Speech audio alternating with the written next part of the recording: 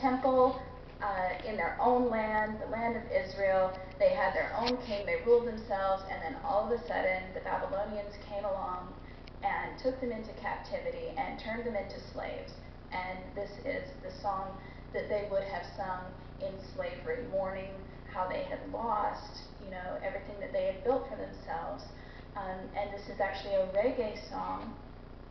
One generation may have heard Bob Marley sing it, another generation may have heard Sublime sing it, and, um, and it's pretty timeless. Uh, a song about loss and maybe turning that loss into some beautiful music.